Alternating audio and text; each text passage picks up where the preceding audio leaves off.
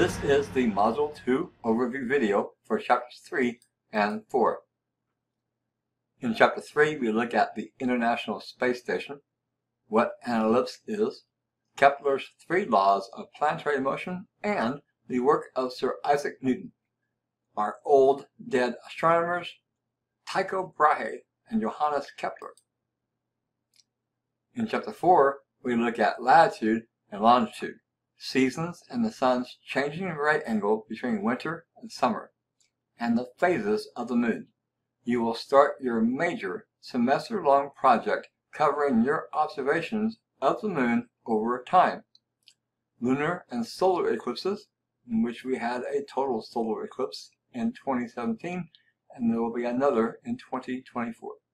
You will again observe the sky with your smartphone for lab this week. Well, did you enjoy that episode of 10 Minute Astronomy? If so, check out all the other videos in that playlist for 10 Minute Astronomy and other videos on my channel, and then hit the subscribe button right there. Thanks.